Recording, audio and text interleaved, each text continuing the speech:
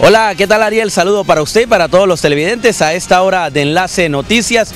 Ya nos encontramos en la ciudad de Barranquilla, sede de la Casa de la Selección Colombia, que el próximo viernes a las 3 de la tarde enfrentará a Bolivia. Ayer hizo práctica la Selección Colombia con el grupo completo ya de 26 jugadores. Hablaron a la prensa nacional, hablaron por supuesto a Enlace Noticias, al canal TRO, nuestro canal aliado en el departamento. lo importante es uno enfocar de pronto eh, los puntos eh, vulnerables del rival y tratar de,